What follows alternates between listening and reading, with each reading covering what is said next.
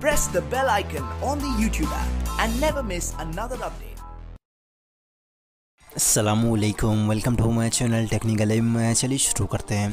तो दोस्तों, अगर आप अपने शॉमी मोबाइल के सिस्टम लॉन्चर को अल्फ़ा वर्जन में अपडेट करके क्विक शॉर्टकट मेकर एप्लीकेशन की मदद से ऐप टोर वाले फीचर को इनेबल करके यूज़ कर रहे हैं, जिसकी वजह से आपके शॉमी मोबाइल पर आपको बहुत सारे प्रॉब्लम्स और हैंग इशू देखने को मिल रहे हैं। तो इस वीडियो के अंदर मैं आप लोगों को दिखाने वाला हूँ कि अल्फ़ा वर्जन को डाउनग्रेड करके स्टेबल वर्जन पर कैसे मूव करें।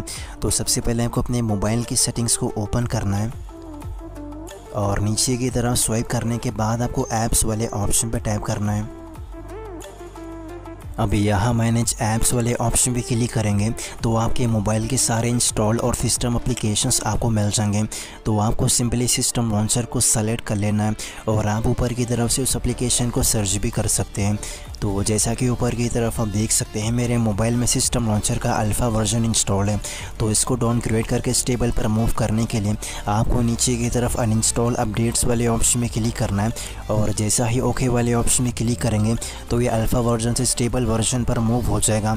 तो दोबारा से ओपन करने के बाद ऊपर की तरफ़ आप चेक कर सकते हैं स्टेबल वर्जन पर मूव हो चुका है। तो इसी तरह आप भी अपने किसी भी शो में मोबाइल के सिस्टम लॉन्चर को डाउनग्रेड कर सकते हैं।